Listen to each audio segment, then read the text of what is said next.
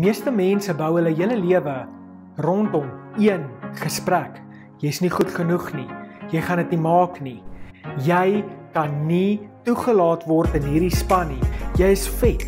Jy is nie mooi genoeg nie. Watter effek het hierdie woorde op ons lewe? Ons gaan vandag daaroor gesels. Baie welkom by New Rising Community waar ons passievol is om op 'n eenvoudige en 'n praktiese manier die woord oop te breek. My naam is John Smith. Toe ek in graad 2 was, het ek gegaan vir rugbyproewe. Ek het baie gehou van rugby en ek was nie die grootste of die kleinste gewees tussen my vriendegroep nie. So ek het gedink, "Wel, daar is 'n kans ek kan dit maak." En ek het my hart uitgespeel daai hele dag sodat ek net in hierdie span in kan kom. Natuurlik aan die einde van die dag kom die onderwyser, die afrigter na my toe en ek sal nie sy naam noem nie, maar hy kom na my toe en hy het iets vir my gesê wat my hele lewe geaffekteer het. Daai oomblik het alles in my lewe verander. Hy kyk my in die oë en hy sê vir my, "John, jy het nie die span gemaak nie, boetie, want jy is te vet." Jy is dik en jy gaan nie in hierdie span kan funksioneer nie. Ons het nie vet mense nodig nie. Ek het gewonder, hoe kan iemand vir 'n jong seun dit sê? Maar my oë was vol trane en ek het weggehardloop en ek het gaan huil agter die hoekie sodat niemand my sal sien nie, maar daai oomblik het alles verander in my lewe. Van toe af het ek nooit weer deelgeneem aan sport nie. Ek het nooit selfvertroue gehad in myself nie. Ek het altyd gedink ek is lelik, ek is vet, ek is nie goed genoeg nie. En en tot in praatjies in die klaskamer het ek altyd vir die juffrou gesê: "Juffrou, kan ek asseblief na die tyd my praatjie gee want want ek kan net nie voor mense praat nie." En sy het of my gesê, "Wel John, nee, jy kry 'n 0 as jy nie voor hierdie klas te doen nie." Of sy het vir my gesê, "Wel, dis reg John, ek sien jy's bietjie senuweeagtig." Dit het alles verander. Ek het nie meer selfvertroue gehad in myself nie, net deur een oomblik. Nou, toe ek skool klaar gemaak het, het ek betrokke geraak in 'n diensjaar in Nelspruit waar ons die gemeenskap gedien het en die skole gaan besoek het waar ons opgetree het en ons het dramas gedoen, ons het gesing en ons het hulle bedien met die woord en net regtig Jesus se liefde vir jong tieners probeer wys. Nou die heel eerste en ek sal hierdie ook nie vergeet nie. Die heel eerste keer wat ek voor die hele saal en dit was 'n pouse, die hele saal, daar was omtrent so 1500 kinders gewees wat daar voor gesit het en nou moet ek gaan praat.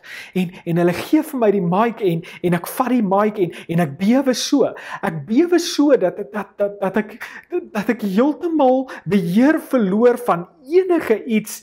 En en en ek kyk hulle so in die oë en ek sê vir hulle hallo eh, my my naam is John Smith en en en en en ek gaan nou loop. En ek laat val die mikrofoon en ek hardloop van die stage af. Nou meerderheid van die kinders het gedink dit is beplan en hulle het gelag en dit was 'n grap gewees maar min het hulle geweet dat ek so senuweeagtig was dat ek my broek nat gemaak het. Ja, ek's 18 jaar oud en ek maak my broek nat en en nie eers die die mense van die diensjaar het daarvan geweet nie en ek hardloop weg en ek gaan sit op op 'n trappie in die son natuurlik laat my broek kan droog raak. Gelukkig was dit 'n swart broek gewees so niemand het regtig agtergekom nie, maar ek het geweet en ek sit daar weer eens met trane in my oë en en en ek sê vir myself ek is nie goed genoeg nie.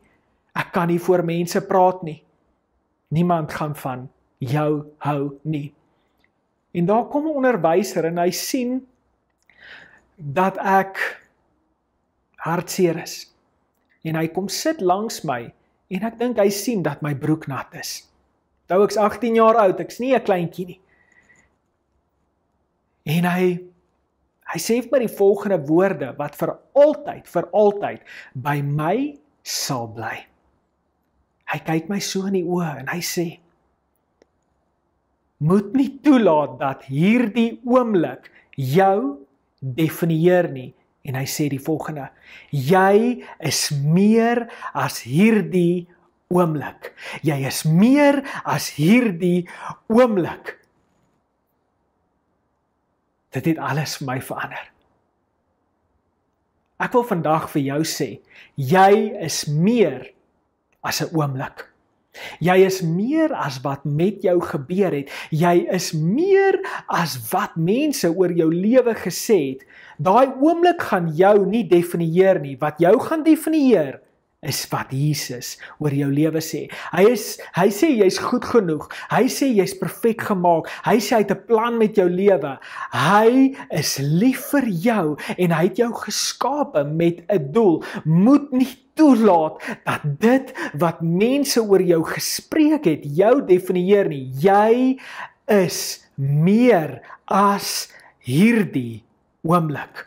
Colossians 2 verse 10 so you also are complete through your union with Christ, who is the head over every ruler and authority. As jy in Christus is, is jy meer as daai oomblik. As jy in Christus is, dra jy nou sy autoriteit. Kyk na jouself lig jou kop op. Kyk na jouself en sê weer, ek is goed genoeg. Ek is mooi. Maak nie saak wat mense van my sê nie. God gaan my definieer, nie daai oomblik nie. Jy kan gerus hierdie met 'n vriend deel, dit sal baie vir my beteken. En as jy nog nie kans gekry het om dit te doen nie, gaan asseblief onder en gaan subscribe op hierdie video sodat ons meer mense kan bereik en sodat hierdie kanaal kan groei. Tot ons volgende video. sien jou weer.